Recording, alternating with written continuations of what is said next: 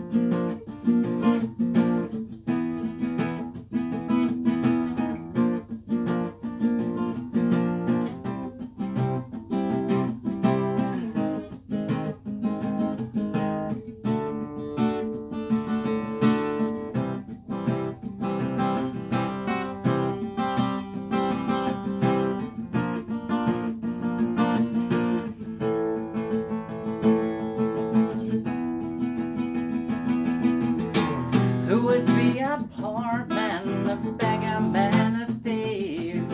If he had a rich man in his hand, who would steal the candy from the laughing baby's mouth?